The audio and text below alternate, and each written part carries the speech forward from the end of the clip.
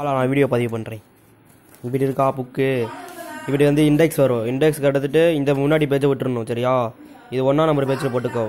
ஒன்றா நம்பர் பேஜில் போட்டுட்டு இந்த பக்கம் ஃபுல்லாக பென்சிலால் தான் எழுதணும்.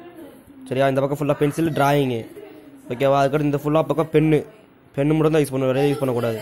இந்த இடத்துல பேஜ் நம்பர் மூணுன்னு போட்டுரு சரியா? பேஜ் நம்பர் மூணு போட்டு இது வந்து ரெண்டு இது வந்து பேஜ் நம்பர் மூணு. இந்த பக்கம் ஃபுல்லாக பென்சில் சரி பென்னு இந்த பக்கம் ஃபுல்லாக பென்சில் தான் யூஸ் பண்ணணும். அதுக்கடுத்து கால்குலேஷன் அப்சர்வேஷன் இந்த பக்கம் எழுதணும். அதுக்கடுத்து மிச்சர் இது இங்கே எழுதணும். அதுக்கடுத்து கால் கா கடைசியில் ரிசல்ட் வந்து இந்த பேஜில் தான் எழுதணும் எப்பயுமே. கடைசியில் நாலு லைனுக்கு முன்னாடி எழுதணும். ரிசல்ட்டு சரியா?